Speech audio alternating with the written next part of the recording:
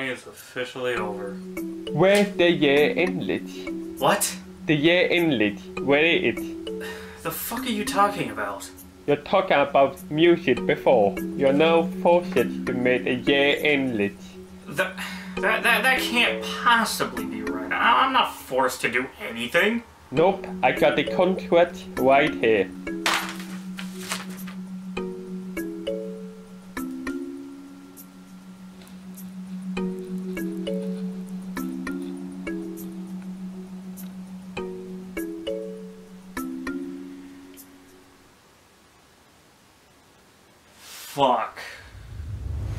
So 2020 is finally over, but if there's anything that I've learned from these post-2016 times, it's uh, that, that it's just only gonna get worse. But because I'm obliged to do a year-end list, apparently, because I talked about music just like 11 times, uh, let's just talk about the better side of 2020. And while that wasn't constantly frequent, there were actually, you know, a, a, surprise amount of songs that I actually really liked this year. In fact, what makes this list majorly different from any other list I would have done, like, any other year, is just the fact of how many different artists there are. Some of these artists I never even heard until, like, this year, and, that, and that's all because of my Songs of the Month series that I did a while back. So without further ado, let's go ahead and get right into this list, starting with... Number 10, losing my religion. So, 2020 was a pretty hard year.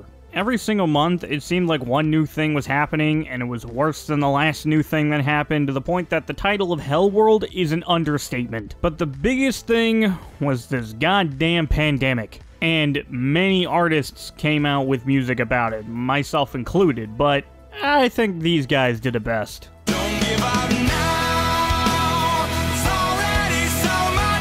Shinedown is a band that I have loved ever since I heard Sound of Madness appearing in most Harry Potter character theme song videos back in like 2015. God, remember when that was a thing?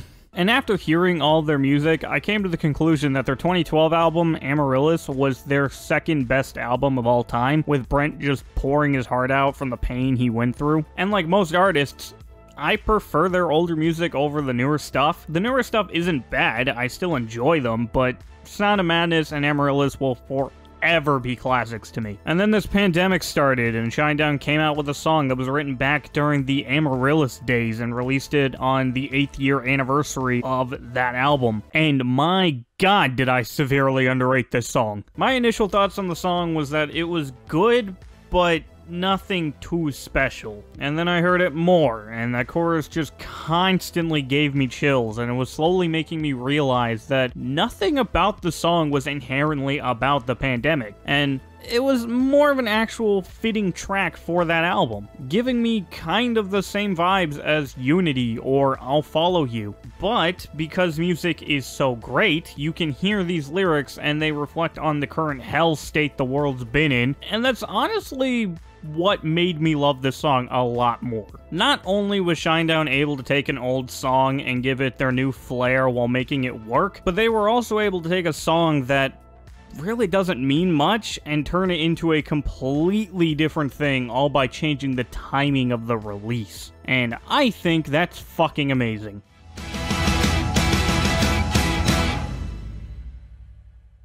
Number 9, help me. This year was a complete tonal shift for me music-wise. For one, I started getting more into the scene emo punk music, and also given a time this year where I started truly having feelings for someone again, I started getting more into love songs, and more specifically, being in love with someone that doesn't love you back. And then this band just decided to combine those two things.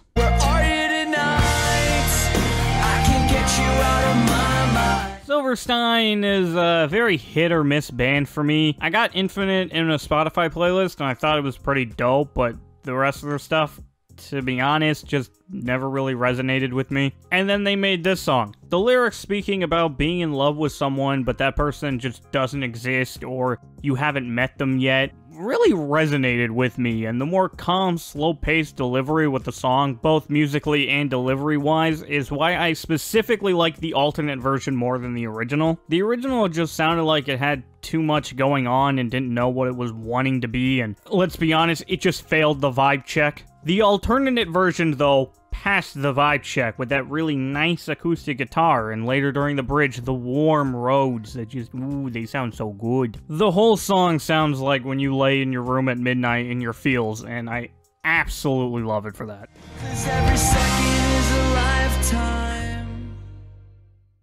Number 8 Creepy Anime Video. Most things related to anime are meant to be cute, or at the very least sexual. You remember how I said that I was kind of getting into the scene kid music? Well, a lot of scene kid music is from MySpace. And a lot of MySpace songs are absolutely fucking garbage. Until you decide to make a metalcore cover of one of them.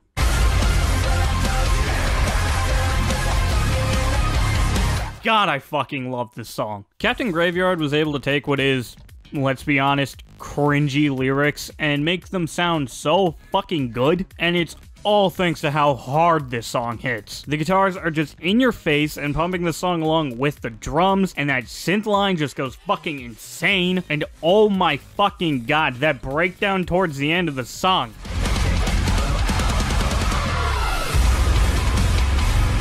I've also grown really tired of growls because it feels like every band is doing them nowadays, but this song knew how to use them right and just more as a emphasis for certain parts that it makes them so goddamn enjoyable. I can't make it 5 seconds through the original, especially during the drop, but this song I can hear on repeat 20, 30, 40, 50 times without once losing any love for it. Also, shout out Captain Graveyard for commenting on my Songs of the Month video where I talked about this one.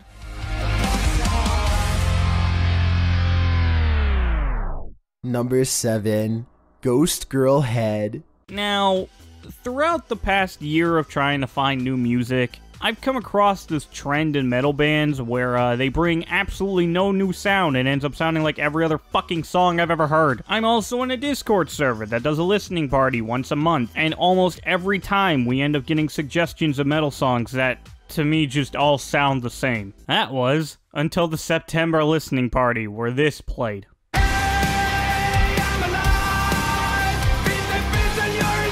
Now, the first thing I thought when I heard this was, this sounds like Rammstein. And that would be a problem if all I heard was Rammstein, but instead, the lead singer Johnny brings in a voice that sounds a bit like Till Lindemann, but also a bit unique. And then the chorus comes in and sounds nothing like Rammstein. Then you get to the bridge that sounds like nothing I've heard before. All while this song sounds neat and tidy and not like a complete mess. And it fucking hits hard!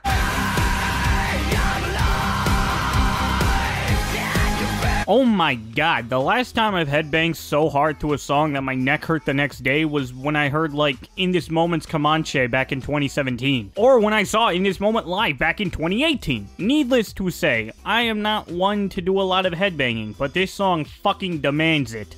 Overall, this was another one of those songs that I just could not stop playing for days after I heard it. So, uh, to the person who added this one, thank you so much.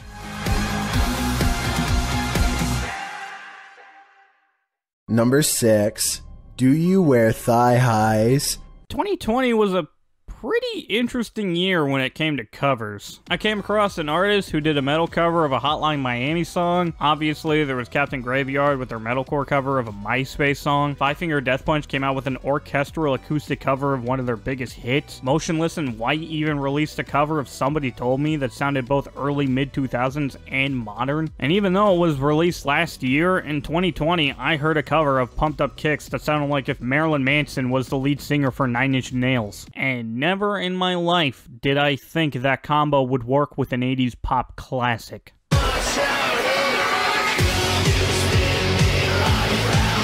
When Three Teeth announced that they did a cover of You Spin Me Round, I thought it was a really interesting choice, but wouldn't be good. I thought it'd be fine at best, I just couldn't really see it working for them. And oh boy was I wrong.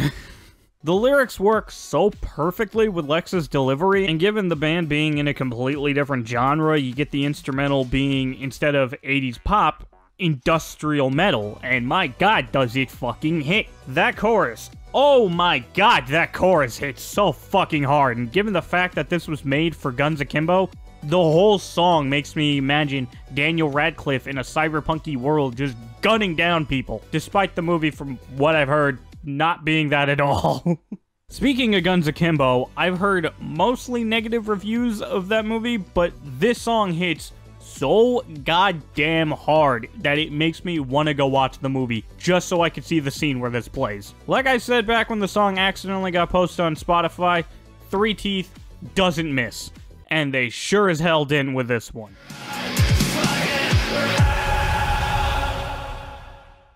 Number five, Don't Leave Me.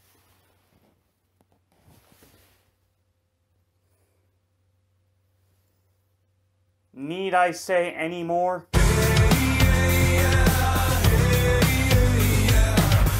Five Finger Death Punch on the top 10 list, let alone at number 5. Yeah, that's pretty controversial, but when have I never had a controversial opinion? Five Finger Death Punch is a band that I have not hidden my love for, and even after some moments that were, ah, pretty yikes to say the least, it still doesn't change the impact this band had on me back when I first heard 100 Ways to Hate. I've always felt like their music spoke to my angsty, angry preteen self, and when Injustice for None came out, I was just entering the anger stage of a breakup. Fast forward two years later, I'm losing a bit of my anger, but at the same time, I hate people, and I'm often in a bad mood, and Five Finger Death Punch just comes along with their 8 studio album brings this song. A little bit off captures that vibe of just being in a mood where you don't want to talk to people and you don't want anybody talking to you, while also being something new to the band, and that's making lo-fi metal. And for some reason it works. On my first listen to the song, I wasn't a big fan, but by the second or third chorus, I, I was absolutely sold. And like usual, Ivan comes in with lyrics that are probably really fucking edgy, but I'm really fucking edgy, so I relate. It's just a great song with a great vibe that perfectly captures the mood that my life's been uh, transitioning into now, and aside from all the bullshit the band's been doing lately, I couldn't thank them enough for shit like this. You can all fuck off today. Number four, watching Barack Obama. Ever since 2018, there's been this increasing rise of women rappers, with a lot of them being really controversial, mostly with the fact that they rap about sex. And in 2020, the world was given a song all about sex and female empowerment. That apparently nobody wants to fucking pay any attention to. Fuck being good, I'm a bad bitch. I'm sick of motherfuckers trying to tell me how. Megan Thee Stallion does sex rap right. You know why? Because she at least fucking brings punchlines. I swear to God, every sex rap song I've heard has just been the most generic, I got good pussy, or I got good dick message, and it's like, I don't give a fuck. Oh, you're good at something. Cool. C can you at least bring some fucking entertainment to it? And that's what Megan does. For fuck's sake, she came on here referencing anime. And even though it's Naruto and I have an immense hatred for Naruto, it's still an anime reference. And what makes everything else about this so great is that it's done on the Boys in the Hood beat. The fucking balls to go on such an iconic and classic beat is immense. And Megan does not disappoint. Like I said, she comes on here referencing anime, but at the same time, she comes in with this, like, bad bitch, you can't fuck with me vibe that I, a white man, feel so goddamn confident listening to it. Just look at this shit. Look at all these bars. Why is nobody talking about this? I'm gonna be honest.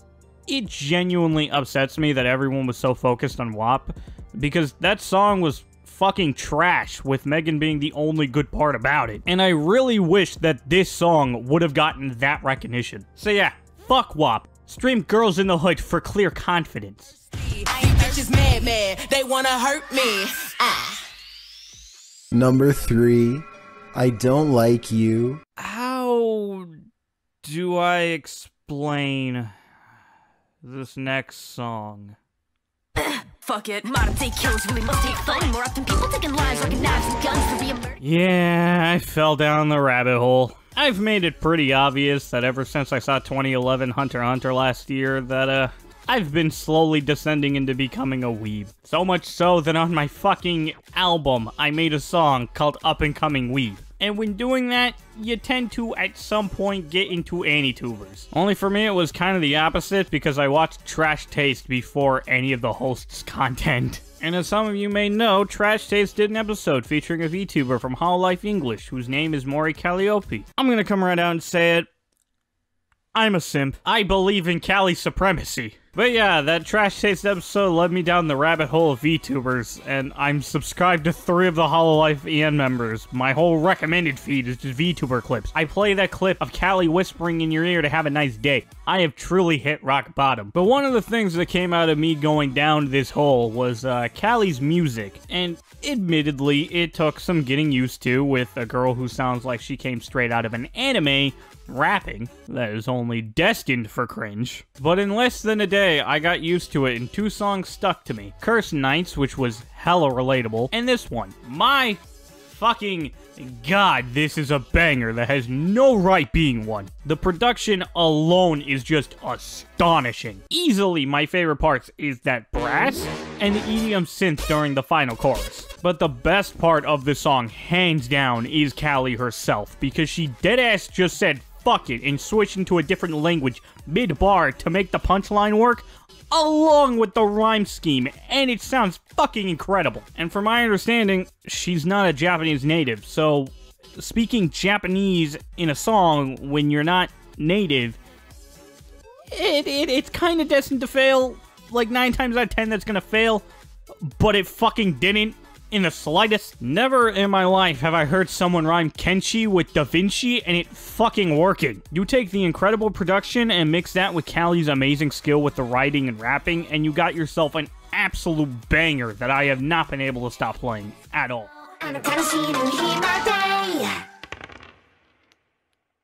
Number two, strange behavior. Damn, remember when we went on quarantine back in like May? Yeah, well, around that time I decided to broaden my horizons in music, truly stop giving a fuck about genres and just listen to a ton of songs that either Spotify or friends recommend me and just overall expand my playlists. And I am so fucking glad I did. I need to know. I've talked about how much I love the song in the past, but when I first heard this, I could not stop listening to it. It was constantly stuck in my head, and it still does to this day. Everything about it, from the smooth guitar riff to the lead singer's yelling on the chorus to that thick bass line, I knew almost immediately that this was one of my favorite songs of 2020. Another thing about this song that makes it so interesting to me is their song Smile was the turning point into their new sound, but Need to Know is what solidified it for me because the next two singles after that were basically Need to Know 2 and Need to Know 3. And I am completely fine with that. The style that Tropic Gold brought with this song and continue going forward with makes them one of those bands that could just release the same song over and over again and they would all consistently hit. It's a sound and formula that sounds very much the same while also sounding unique with every rendition, and it's all thanks to the song. That Tropic Gold album.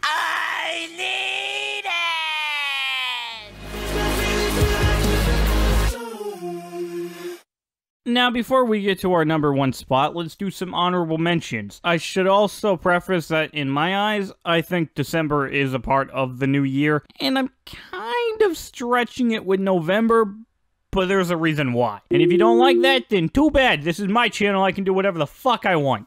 Alright, honorable mention time.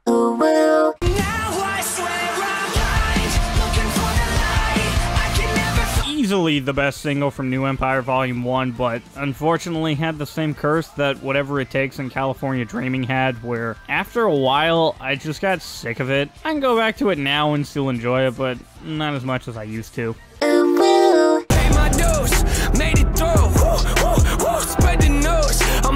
NF dropped his version of The Way I Am after dropping his second best album, and it is an absolute banger, but I also kind of forget it exists. And we'll I don't wanna be alone in the darkness.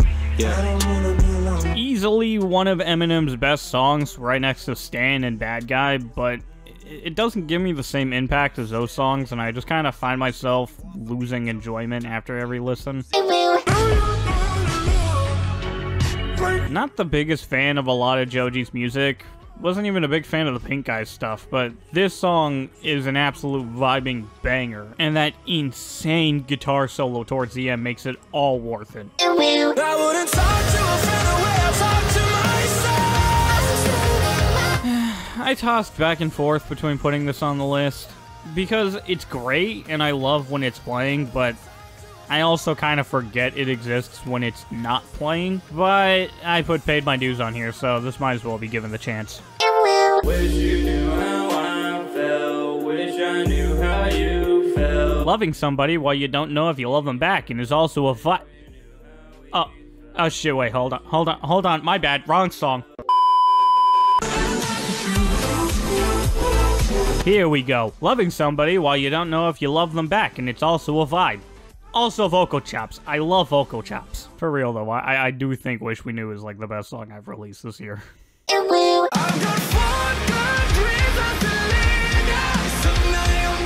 Solence's best song, with it giving me the lyrical topic of a like an old school Five Finger Death Punch song, and I absolutely love it. One thing though, what the fuck was the release of this album? Why were six of the seven songs singles? Why? Somebody told me you had a boyfriend who looked like a girlfriend. I think I like this more than I like the original just because I like Chris's voice more than Brandon's. Both versions are great, but this one just brings more of a vibe that I enjoy. I don't wanna die slowly. Put me in the grave, rather die than live lonely. This shouldn't be put on the list because the EP had no singles, but god do I love it, so fuck you. You know, as a matter of fact, I am never lied. I never know. I am so fly, I never know. Young Scrolls consistently releases bangers, and this is no exception. This is easily one of my favorite beats from him and has some really funny bars. Only reason this ended up as an honorable mention is because of the Todd Howard feature, which I'm just not the biggest fan of.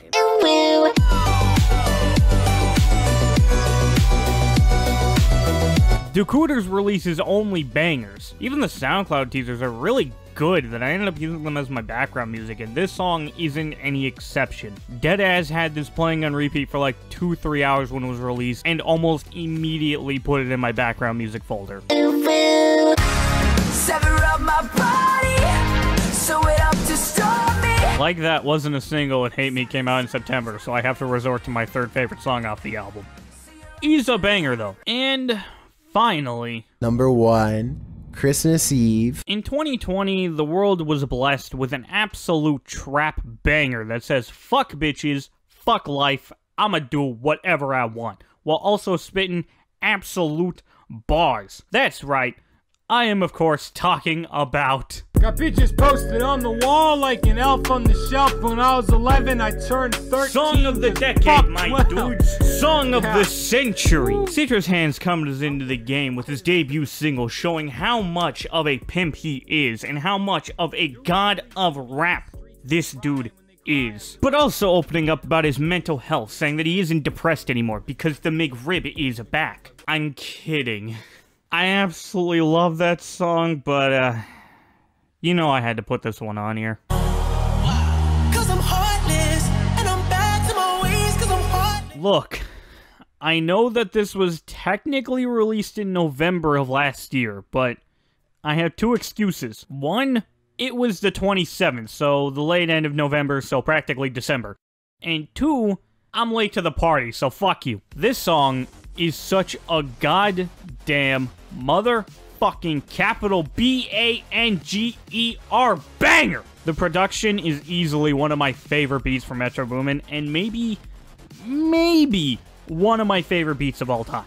Ugh, that synth bass during the chorus is so nut-inducing. And the lyrics, what what can I say about the lyrics?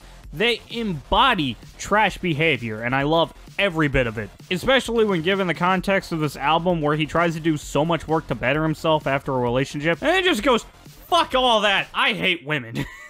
That's gonna get taken out of context, isn't it? It's such garbage behavior, but he's able to make it sound so fucking good. And then you got lyrics like these. These are certified banger lyrics, okay? I don't want to hear it. Given the fact that this is the lone trap song in the album, The Weeknd and Metro Boomin fucking delivered. They delivered with an absolute banger, and from the moment I first heard it, I knew it was the best song of 2020. Despite it coming out last year.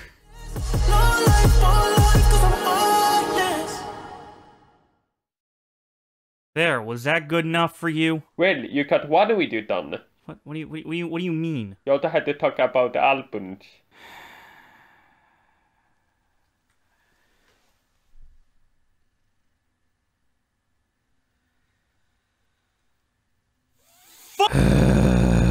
Okay, turns out I can't I can't just make a top 10 singles list. I I also have to do a top 10 albums list. The only problem is is I I didn't really listen to a lot of albums and and if I did, it, it was just kind of boring. So, I guess you're just going to have to settle for a top 5. At least I got some honorable mentions that can make up for that. Nonetheless, let's just get into this starting with Number 5, Don't Leave Me. Have you ever listened to an artist where in the early days of their career they sounded really good, but eventually as time went on it seemed like the quality of their music slowly dropped and you're not really vibing with a lot of it, but then one day they come out with an album that goes back to that previous sound and vibe while mixing in a little bit of that new sound that they've been having? Yeah, me too. Call me what you want, but never call me finished, nigga. I'm just getting started with my shit to start beginning. I'm in this I found Khan back in April of 2018 when I found his remix of Rap God and ended up going down the rabbit hole of listening to all of his SoundCloud shit. Antidote, Feels, FF at All, Blasphemy, Mary Jane, Mask Off, Needs and Wants, Rap God, Shit, The Eagles, Untouchables, Void, Passing Me By, Time, Shout Out to Gucci, bangers, all of them. And then when it came to the albums, I listened to Heart Melody and overall I liked it, and then Pure Attentions, which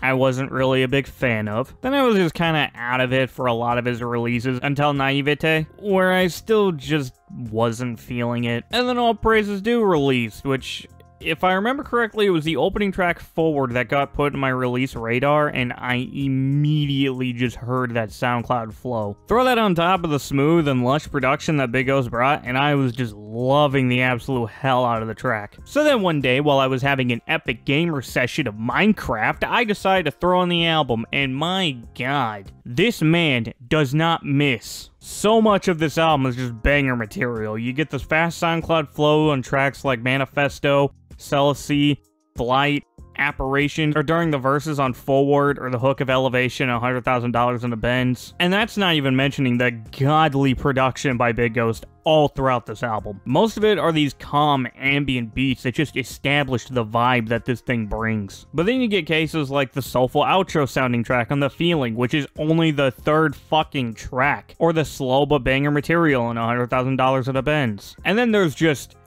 everything about apparitions from the beat and the hook bringing out so much goddamn nostalgia and some of Khan's delivery really help with that nostalgic vibe sounding exactly the way he used to back on some of those old SoundCloud songs that it just takes me back. And of course, because it's Khan, there are a couple bars on here that get a laugh out of me. This thing is just a beast that doesn't overstay its welcome with it only being 10 tracks and 30 minutes long and is Khan easily at his best in a while, and I am so happy for it.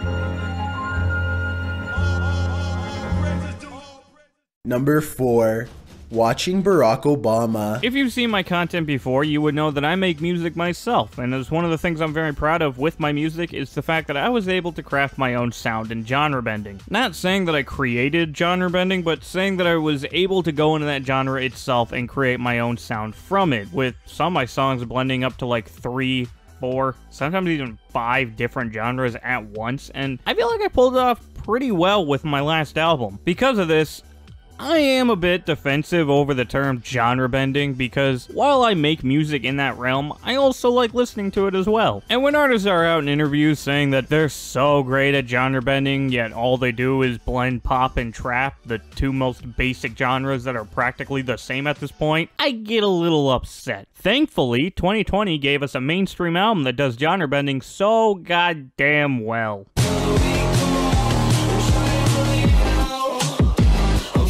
Now, I've already done a fully in-depth track-by-track review of this album, and if you've seen that, then it really shouldn't be a surprise that I would have this album on the list. Oliver Tree crafted such a great genre-bending album with the songs going through rock, pop rock, synthwave, trap, pop, and a little bit of orchestral music thrown in there. And one thing I have to give this album a lot of credit for is that multiple times it just switches to a completely different genre in the same song without sounding awkward or jarring, but instead being really smooth and natural. And like I said in my review, sonically this album sounds so fucking amazing. The acoustic guitars on Cash Machine, Let Me Down, Miracle Man, and Waste My Time are EQ'd in a way where they're so tingy, but at the same time really warm and just sound so good in my ears. The tone on the electric guitars in Me, Myself, and I and Jerk are more hard rock focused, and then on Introspective and I'm Gone, it's more clean sounding, but they still sound amazing. Then you get songs like 1993, which have these really dark and grimy synths with an insane bass, or on Alien Boy, where the production reflects the song topic with the lyrics being about being a weirdo and the beat just being filled with all these little kind of weird sounds and percussion. And speaking about I'm Gone earlier, that shit is one of the best outro songs I have ever heard on an album. Oliver ends this project with what genuinely sounds like the end credit theme for a movie, which is perfect given how this is the first and last album from him. This whole thing is just amazing for my genre-bending loving ears, and even though there's some songs that I just don't think hit as hard or I feel are kind of weird on the album, this whole thing is mostly just hits, and I'm so glad it exists.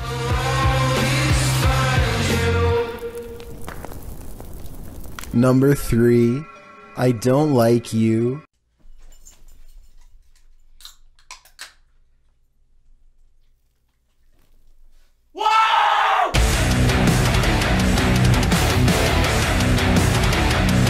This shouldn't be a surprise at all. I'm pretty well known for being a massive fan of this band and being one that gives them mostly positive reviews. I still to this day defend Got Your Six and Injustice for None, despite those albums being at the bottom of my ranking, just because this band rarely releases a bad song for me. And when it comes to defending albums, Fate is no exception. The lead up to this album had the band saying that they were going to be doing something a bit different, even saying that they were going back to their roots, and Ivan saying that he wanted to improve after the last two albums. And I wholeheartedly think they succeeded, especially when Inside Out released and started off with a fucking orchestral intro. The last time they did orchestra stuff was like Far From Home or Cold, but it was just background strings. Meanwhile, on this album, you get bits where it sounds like an entire symphony featured on a song, like on the aforementioned Inside Out intro, which is actually just the title track, which is just one of my biggest complaints. It's fucking stupid, but but nonetheless. It's also found on songs like Darkness Settles In or Brighter Side of Grey. Lyrically, I think Ivan improves a lot on here and brings in more topics. Yeah, you could blatantly ignore 90% of the album and focus on songs like This Is War to prove your point of Ivan doesn't change, but that's literally wrong when you get songs like Inside Out, which is about his alcohol abuse, while also sounding like a breakup song. A little bit off, capturing that vibe of just being in that mood of just don't talk to me. Bottom of the top, having him being done with all all the shit the band gets put through by critics and saying he just wanted to be looked up as an idol and just he wanted to make music like the bands that he enjoys. Pr pretty much just being his version of The Way I Am. To Be Alone sounds like that old school sarcastic fuck you vibe that made me fall in love with this band and genuinely sounds like their version of Bully Your Enemies by Shinedown. Yet another band that I love. Scar Tissue goes back to that breakup song vibe and doing it so well and better than they have done in a while. Brighter Side of Grey literally sounds like Ivan's suicide note. And you even get the song Death Punch Therapy, which is basically just them referring to a bunch of their past songs in a way that I absolutely love. I know it's not for everyone, but I fucking love references, so I love this song. But then speaking sonically again, you get A Little Bit Off, which features the band pulling off metal lo-fi. Or Darkness Settles In and Brighter Side of Grey being more subtle and ballad-esque while also combining the metal sound. Scar Tissue features Chris Kael going off and it's so goddamn great. Hell, I wasn't even the biggest fan of Making Monsters when it came out, but it has grown on me a lot, sounding the most uncut and raw they have in a while. I saw a review where a dude said that Making Monsters was his favorite track because of how raw and unradio friendly it sounds, which is why it ended up becoming a bonus track. And I can't disagree with him. Dude was spitting straight facts. This album isn't perfect though. Mother May I, This Is War, and Living the Dream are easily my least favorite songs, especially Living the Dream. The music video doesn't help the song either. My god. Hey, I'm just gonna say, it could be worse.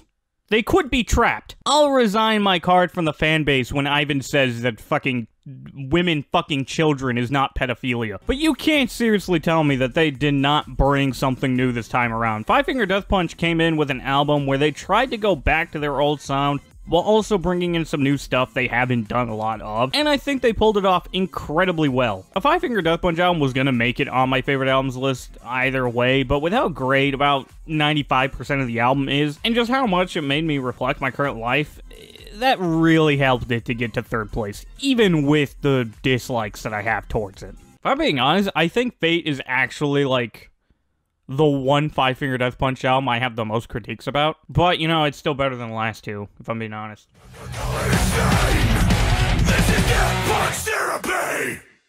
Number two, Strange Behavior. I used to do a series on this channel this year called Songs of the Month. I eventually stopped doing that just because it was causing me to not be able to work on other projects I wanted to do. But besides that, in the first episode, I featured a certain song labeled after a certain physics term. And when talking about that song, I mentioned that the band who made it didn't have an album out.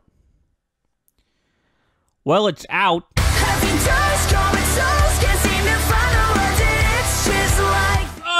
This album is so good. This thing is just back-to-back bangers. The album literally starts off with my favorite song and ends off with my second favorite song. And almost everything in between is just as good. After the heavy banger that is like that, you get yet another heavy banger, which is... I'm gonna be honest, I don't know how to fucking pronounce that. but anyway, that song features a vocal synth melody. It's kind of weird, but like at the same time, your boy, your boy love vocal chops. Your boy just loves vocals on like a lot of things, so you know it's it's it's good. Then there's Blurry, which manages to create the sound of blurriness. Evil Eye Go completely dishes the punk aesthetic in the beginning and instead brings this really weird vibe. And then when it brings back the punk aesthetic, it fucking hits, and I absolutely love it. Wavelength is a banger. We've already discussed this. Drink to Drown hits way too close to home for me and is a rare song that features no drums and a slow piano that I can actually stand listening to without getting bored. Do What You Wanna brings back the banger material. Silk and Satin goes back to the weird vibe and it once again works. Soap goes back to the banger material. And then we end off the album with an incredibly strong note with the massive banger that is Hate Me.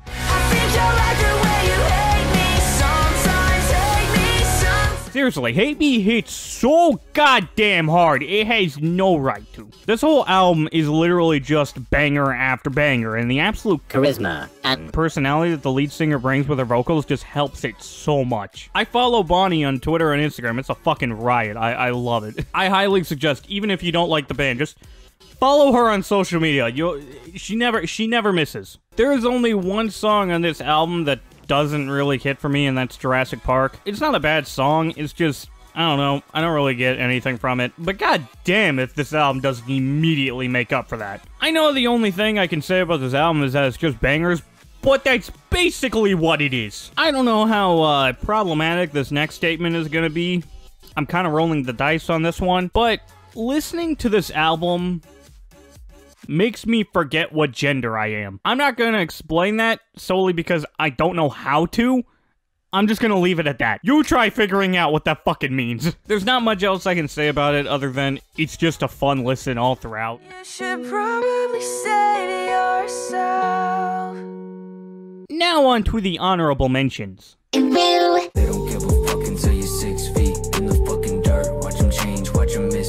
I Feel Nothing is pretty much the sole reason why this is on here. The rest of the EP is great, but that song alone is just a fucking mood and a half. I, I absolutely love it.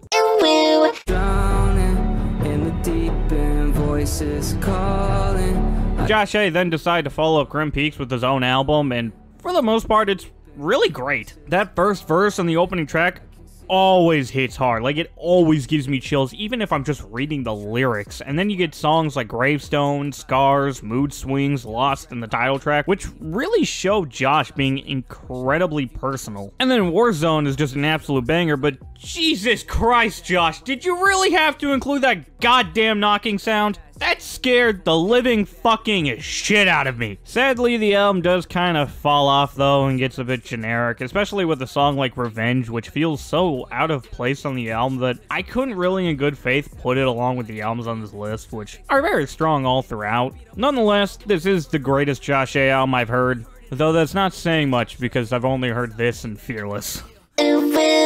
Friends. It's not the end of your Maury, cause every closed door is just the intro of a brand new story. Like I said, I fell down that goddamn rabbit hole, and I don't regret it because it has given me the absolute banger of RIP, which is on this EP. Sadly, it outshines every other song on here to the point that they just don't hit as much. The title track is pretty dope, with Calli giving that Tsundere vibes and that hilarious ending. The outro track is probably the second best song in the EP for me, especially when she sings these lines. Sadly, I'm not really the biggest fan of the opening track. The beat just really doesn't do it for me, and her opening lines just make me cringe that it, it, makes the rest of the song really hard to get through. But either way, it's still a dope EP, and I look forward to what Calli has in store in the future. And now, the moment you've all been waiting for. Finally, the last album on the list. Number one, Christmas Eve. Do I even have to say anything?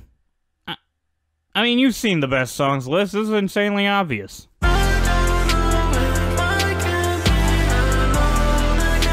Fun fact, I actually struggled to get through this album multiple times because of the opening track. It just just couldn't hit for me for so long and I couldn't get past it. But I owe my love for this album solely for D'Angelo Wallace's review, where he went track by track and explained the rough concept of this album that it made me be able to get through the entire thing. And God, I am so glad it did. The Weeknd really out here making a concept album about going through a breakup, trying to be the better person throughout it, and then just delving back into being an absolute toxic piece of shit, and then just slapped that onto some indie synths and made back-to-back bangers. Unlike the other albums on here, there is not a single song on After Hours that I don't like. I, I don't even know if I have any problems with this album. Alone Again just comes in hitting like a truck. Too Late just embodies the musical form of an orgasm at that 40 second mark. And God, the form formant shifting. I'm a fucking nut. Hardest to Love is yet another 80s synthwave bop and is incredibly relatable. Then you go into Scared to Live, which spends majority of its runtime being just a nice, calm vibe before going into honestly one of Abel's greatest vocal performances on this album, in my opinion.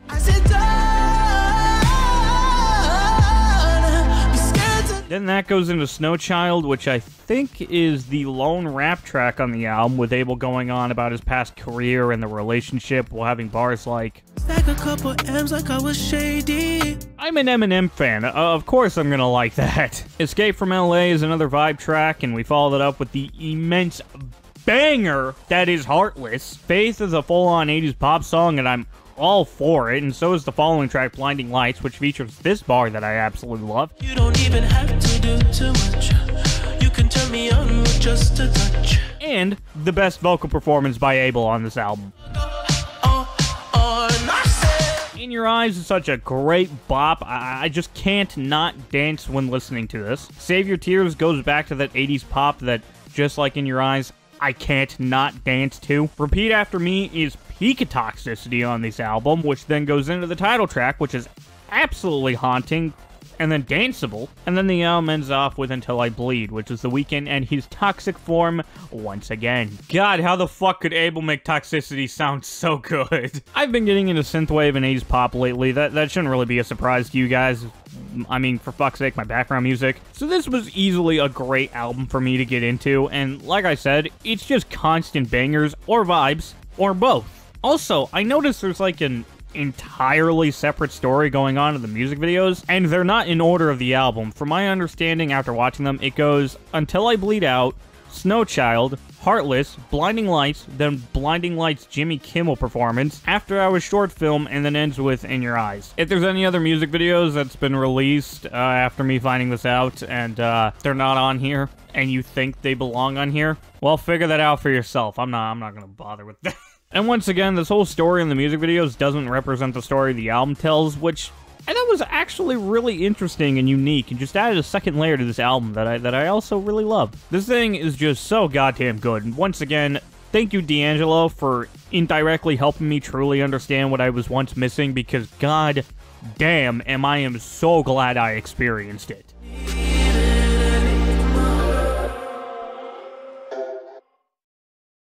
Can I be done now? Yes, you can. Okay, so this is this is the last thing I need to do. Yes. There's no other list. Nope. All right. You're not bullshitting me, are you? No, I'm not. So I'm not just gonna magically appear with my third video of 2021 being another fucking year-end list. No, you won't. You did the whatever you want now. You sure? Yeah, I'm fucking sure. Alright. Well, I guess I'll just uh, fall asleep for another 12 months.